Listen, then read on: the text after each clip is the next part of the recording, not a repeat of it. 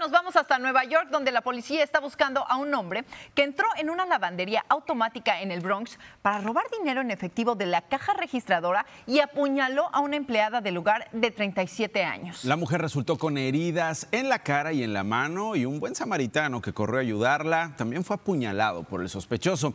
Ambas víctimas fueron llevadas a un hospital y se recuperan afortunadamente de sus heridas. Las autoridades intentan identificar al atacante.